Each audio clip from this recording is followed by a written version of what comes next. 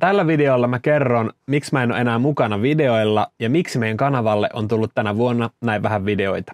Eli tervetuloa Niko ja Santtu kanavan toisen Storytime-videon pariin. Viimeksi oli Santun vuoro, nyt on mun vuoro puhua. Eli kuten meitä pitkään seuranneet varmasti tietää, niin me ollaan tehty tätä hommaa vuodesta 2018 lähtien täyspäiväisesti.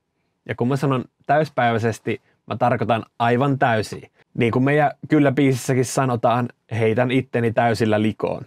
Meidän intohimo tätä hommaa kohtaan on ollut niin kova, että me ollaan haluttu koko aika kehittää tätä hommaa, tehdä koko aika isompia juttuja, isompia tempauksia, uusia juttuja ja ylittää itsemme joka kerta. Alussa me käyttiin kaikki meidän aika näiden videoiden tekemiseen.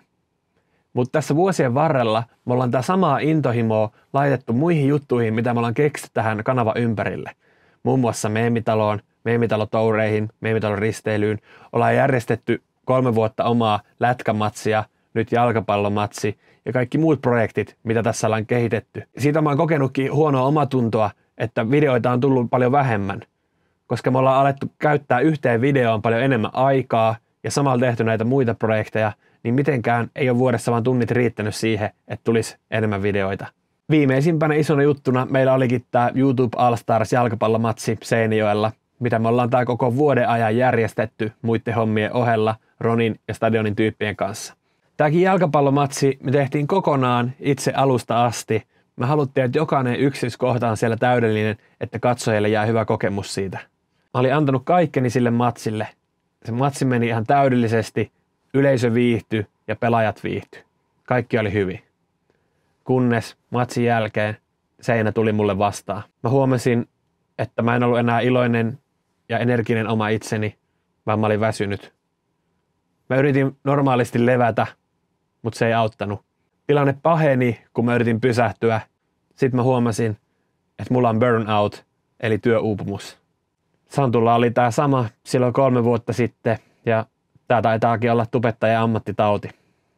Tästä syystä mä jään nyt pois videoilta ja somesta niin pitkäksi aikaa, että mä palaudun tästä burnoutista tämä on ollut mulle itselle henkisesti tosi paha paikka hyväksyä, kun mä en haluaisi itse olla poissa yhdeltäkään videolta, yhdeltäkään livekeikalta.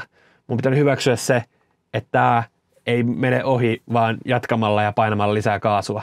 Eli mun intohimo tätä hommaa kohtaan ei ole kadonnut. Nyt vaan keho sanoo, että nyt on aika painaa käsijarrua, kun mä oon painanut liian pitkään vaan kaasua, enkä kuunnellut kehon merkkejä.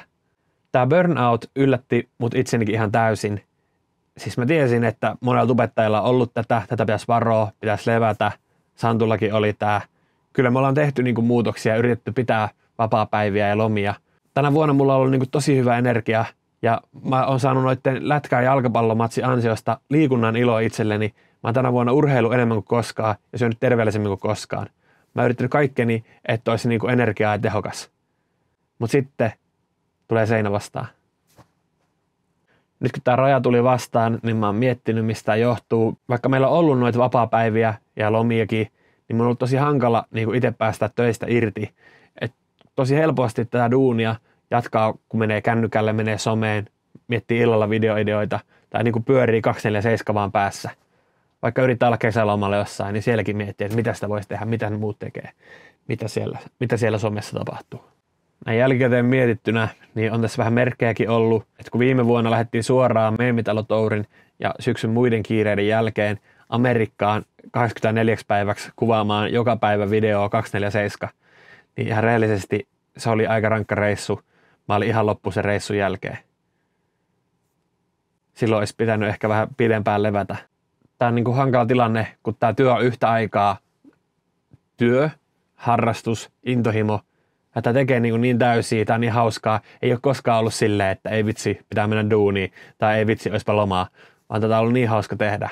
Me ollaan päässyt kokemaan niin uskomattomia juttuja. Mä oon niin kiitollinen kaikille teille, jotka olette ikinä katsonut meidän videoita, jotka olette ikinä käynyt meidän tapahtumissa, meidän keikoilla tai ostanut fanituotteita. Kiitos ihan sikana. Me ei olisi ikinä päässyt kokemaan mitään näin hienoa ilman teitä.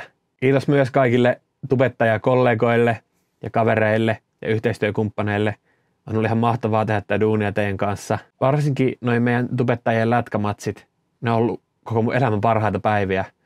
Toivon, että päästään kokemaan niitä vielä yhdessä lisää. Ehkä tämä burnout tuntuu nyt tosi pahalta, niin mä uskon, että tässä seuraa hyvää, kunhan mä nyt vaan kunnolla palaudun ja opin sen, että aika ei riitä kaikkeen, että kaikkea ei vaan pysty tekemään. On tässä vuosia yritetty, että ei sanota kaikkea kyllä, vaan pitää välillä sanoa eikin, mutta vielä pitäisi enemmän osata. Tämä meidän Niko kanava ei onneksi jäänyt tauolle, sillä Santtu tekee Sonjan ja kumppaneiden kanssa tänne videoita. Kiitos kaikesta. Nähdään taas paremmissa merkeissä.